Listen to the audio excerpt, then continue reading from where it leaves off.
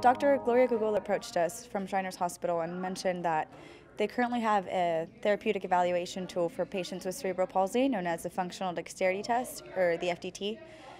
And the setbacks with this are that it's not necessarily quantitative. So there are a few shortcomings in the sense that you can only detect time with that sort of exam and you uh, evaluate the patient through observation. So there was no quantitative measurement. And she said, I'd really like to know more about my patient, more information in regards to how they're moving, how they're uh, being able to trek through space, if their motions have any spasticities or tremors. And then if you can evaluate that graphically through concrete data and display it for me on some kind of interface, that would be amazing. Sí, en vez de hacer trampa, porque de repente con el de madera.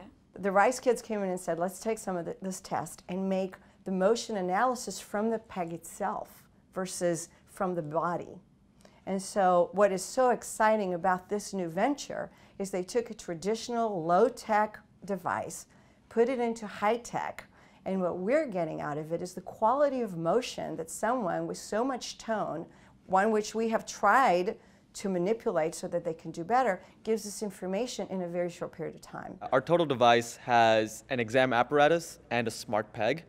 And within the peg are an inertial measurement unit, which tracks patient motion, a Bluetooth chip to transfer this motion data over to our computerized graphical user interface that we built. The idea is to take this motion path, which is a really complex data set, and reduce it to a few scores, like how smooth their motion was, like how direct their motion path was. I'm gonna look right here. Good. This whole project was never about us. It was about using the resources that the Engineering Design Kitchen has, the Brown School of Engineering, our professors, and the resources that are right across the street at Shriners Hospital to make a device that would make a difference for children potentially around the world.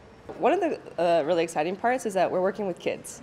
And so when we were designing, especially being one of the, the lead designer on the team, I was thinking, it has to be something that's fun. So if you look at the design, you have targets because kids can really easily like associate targets with being able to land as close to the center as possible. The same thing with the trace pass. You know, growing up, you're like, all right, let me like trace the lines or whenever I'm coloring. And so like, also the bright colors of using red on black. Um, and white, it's very vibrant. And so being able to say, this isn't a scary tool, it's fun, it's a game. It's things like this that really show you, hey, my education can make a difference, and what I'm doing, everything I've learned, can actually be used to make an impact on the world. One of my absolute favorite parts of what we do here is we use the research and all of the kids that we see every day in clinic, and then we're able to collaborate with a place like Rice University, kind of the you know, the cream of the crop university as far as research. It's, it's been a real pleasure to be able to collaborate with them and the fruit of their work is ultimately you know, helping kids or helping medical professionals better help kids. And uh, that's, that's pretty important stuff.